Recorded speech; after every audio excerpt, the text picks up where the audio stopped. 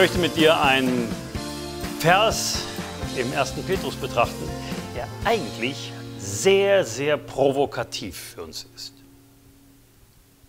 Petrus spricht hier von Jesus und sagt, der unsere Sünden an seinem Leib selbst an das Holz, also das Kreuz, hinaufgetragen hat, damit wir, den Sünden abgestorben, der Gerechtigkeit leben, durch dessen Striemen ihr geheilt worden seid.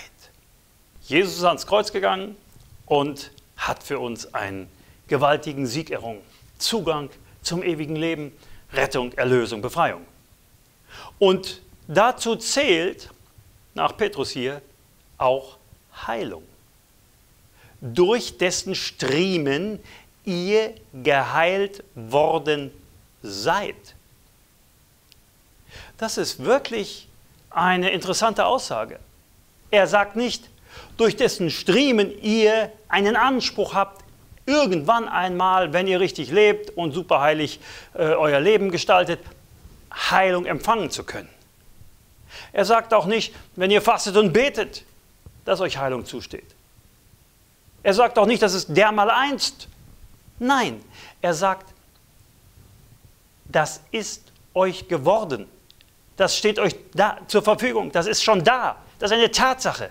Das ist nichts, was vielleicht mal gilt, eine Verheißung. Nein, das ist eine Tatsache, auf der du dein Leben bauen kannst.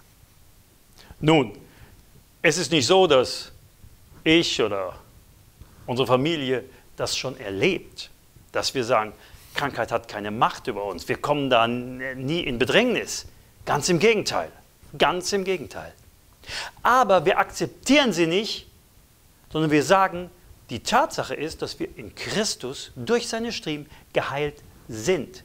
Das sind nur Attacken, das sind nur Versuche des Feindes, uns zu bedrängen und wir weisen das zurück. Wir nehmen das nicht für uns an, sondern wir sagen, das ist nichts anderes als eine Attacke und wir kämpfen dagegen, weil wir wissen, in Christus ist diese Heilung unser Erbteil. Es steht uns zu. Petrus bezieht sich hier direkt auf Jesaja.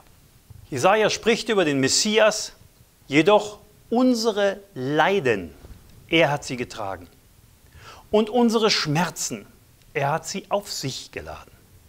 Wir aber behielten ihn für bestraft, von Gott geschlagen und niedergebeugt. Doch er war durchbohrt um unserer Vergehen willen, zerschlagen um unserer Sünden willen. Die Strafe lag auf ihm zu unserem Frieden. Und durch seine Striemen ist uns Heilung geworden.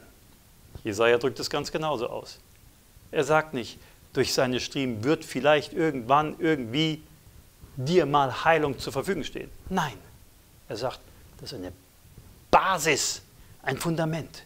Heilung ist dir geworden. Und wenn du das momentan in deinem Leben nicht erlebst, was die meisten Christen in der westlichen Welt oder vielleicht sogar auf der ganzen Welt betrifft, dann ist es trotzdem etwas, was wir nicht akzeptieren dürfen, sondern wir sagen, wir wissen, das Wort Gottes ist wahr. Es ist das einzigste Fundament. Es hat Bestand in Zeit und Ewigkeit.